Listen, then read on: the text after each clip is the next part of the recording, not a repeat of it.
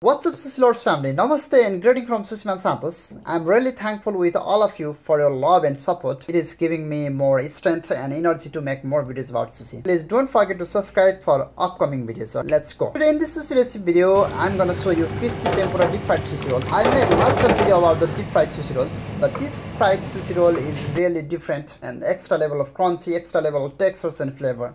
Here I have the sushi grade tuna and salmon block. Firstly, I'll cut tuna block in a small pieces and I'm gonna keep in small ball.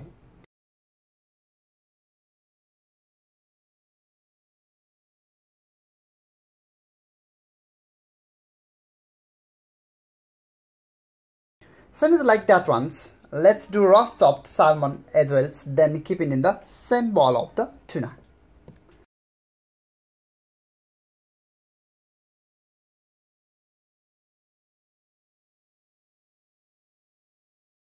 It's a red tobiko. I'm going to add 2 teaspoons and it's a fine chopped onion chips. Or if you don't have the onion chips, you can use the spring onion as well or you can use the French garlic as well. Now you can see here that is the important things. It's a tempura flakes made by myself. If you want to learn how to make it let's comment below. I'll make one special video about it. I always requesting you so please don't forget to subscribe for more videos about sushi. It's really crispy and crunchy so it will make your sushi roll extra level of crunchiness and crispy even we can use it in top of the gunkans inside the sushi roll on the top of the any types of sushi especially in the spicy mayonnaise it's combined very well. Now i'm gonna mix it very well. I think this ball is small isn't it? Let's send to the container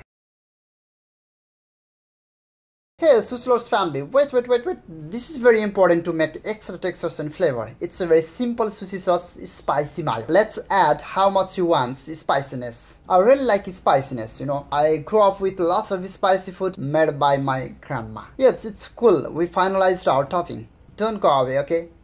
This is the dry nori. I'm gonna make the maki. Okay, seems like a hosomaki. It's not a hosomaki because here I'm gonna use more ingredients. Before placing sushi rice, let's hear to me. Okay, always nori has the rough side and shiny side. We have to place sushi rice on the rough side. Shiny part will be outside. I'm taking around 70 grams sushi rice and gonna put on the middle of seaweed and gently separate both corners as you can see on the video then let's place upside and downside with help of your fingers. I really like i really love to use thumb and second fingers. And don't forget we need to leave one finger on the top same as like the making hosomaki sushi roll. For the filling i love avocado. I'm an avocado lover. It will give you the more creamy flavor and also good combination with the, the salmons for the sweetness i'm gonna use the mango. If you don't like the mango you can use the pineapple. Or if you don't like the more sweetness because in the sushi rice we have already sweetness so it's optional.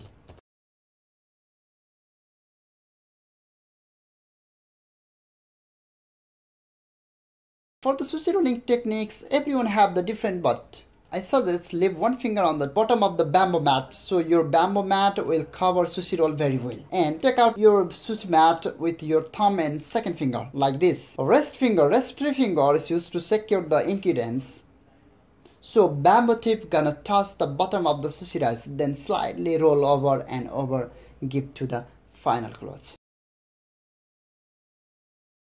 Making sushi roll is very easy, but making perfect tempura is butter is the important things to make crunchiness.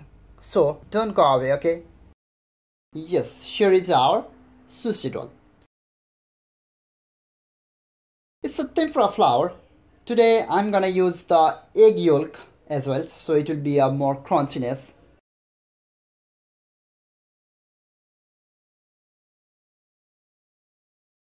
Let's put icy cold water to mix it. If you don't use the icy cold water, it can um, product more gluten and your tempura butter can be a more chewy. So I always suggest to use the icy cold water, okay? To make the perfect tempura butter, 250 gram tempura flour, 350 ml icy cold water, one third of egg yolk and little pinch of the salt and mix together. Don't mix too much, okay? You can leave a little bit floury. I'll use dry tempura flour with the sushi rolls so it will be a more crispy, crunchy and crusty. It will grab more tempura butter as well. Not only that, the important thing is it will stop to go well inside the sushi roll during the deep fried time.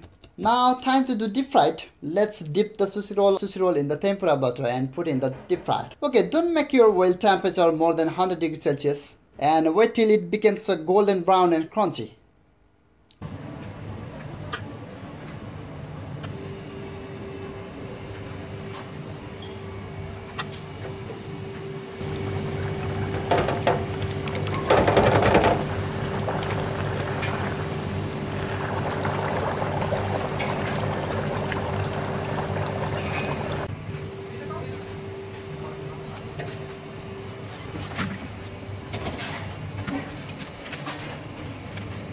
Let's begin in the final part that is the cutting and plating. I love to do it. When you are cutting the sushi roll, make sure it's not too big to bite it. Yes, it's really crunchy. You can hear the sound, isn't it? Now time to do beautiful platter. I'm gonna add our topping on the top of the sushi rolls which I already made. It's a very simple and delicious. This sushi roll has crunchy deep fried tempura, crispy tempura flakes, creamy avocado. For the sweetness I'm using here mango and for the spiciness I'm using the spicy mayo. Wow. I'm pretty sure it's really good combo, isn't it? On the top to make colorful and more umami flavor, I love to add the black tobiko at last but not least. Let's add the slice of lemon, wasabi and ginger pickles. That's it. Here is our deep fried tempura sushi roll with the simple and delicious recipe. How is it? Do you like it? If you really like this video, please don't forget to subscribe for more videos about sushi. And if you feel this video is useful for your friends and relatives, please let's do the share for them. Stay safe, stay healthy. See you in the next video. Have a good day.